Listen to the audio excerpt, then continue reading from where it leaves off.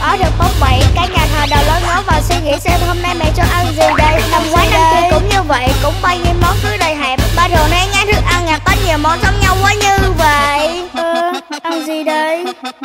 Con cũng chán chuồng Bà nội ngồi buồn mới thấy thương. Ngắt mấy bạn ăn ngán là thường Có đau bụng lớn cũng chẳng thể nào mà nuốt được. Cả nhà quay quần ba bốn ghế dựa bên cạnh một mâm còn ơi mẹ mẹ mẹ ơi thêm chút gì đây? Để ngày sống sang thấy thêm đậm đà. Ngàn quá đi Xuân sang ôi biến nấu ăn Ăn không ngán nè.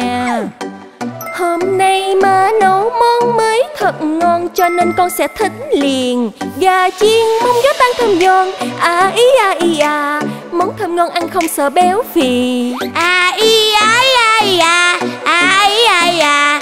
Có mẹ yêu mâm cơm ngon hết hồn.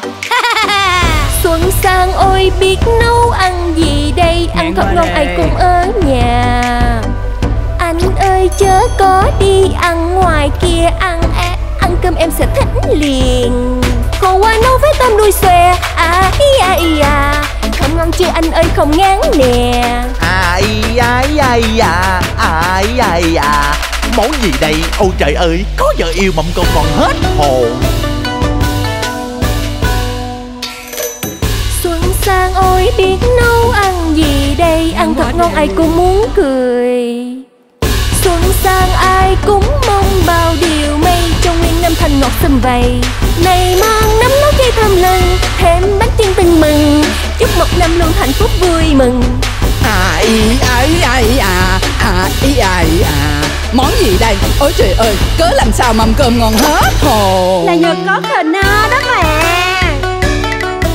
Năm mới xuân sang khờ no chúc phúc Một năm sung túc